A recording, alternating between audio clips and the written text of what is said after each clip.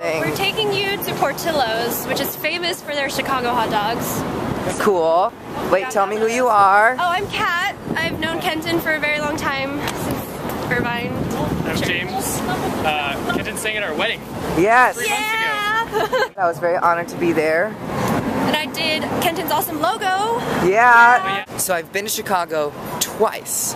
One time for my sister's graduation, and the other time when I was on tour with my a cappella group, the SoCal Vocals.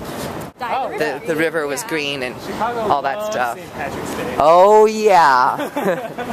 hey Onion. Woo.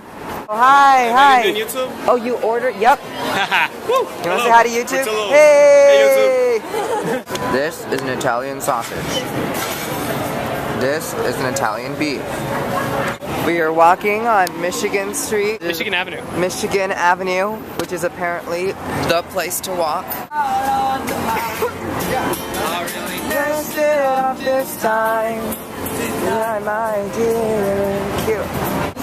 Just you wait, I'm gonna be I'm gonna be that guy in the future. Here with uh, Lisa, who's kind enough to drive us out here because she's an angel. And we are braving whatever the heck this is. We should just name this road.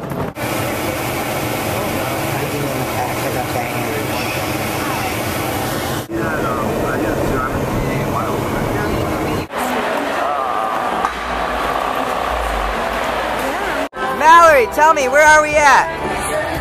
We're at the Dave Matthews Caravan Festival.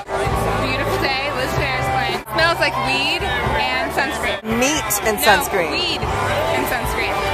I don't smell the weed. At the end of the day, I just want someone to love me.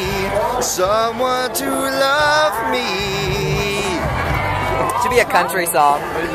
How many people do you reckon there are? Probably like 50,000. 50,000? Well, I mean, what do you think, Andrew? 30, 40, something like that, I think. That's my expert opinion.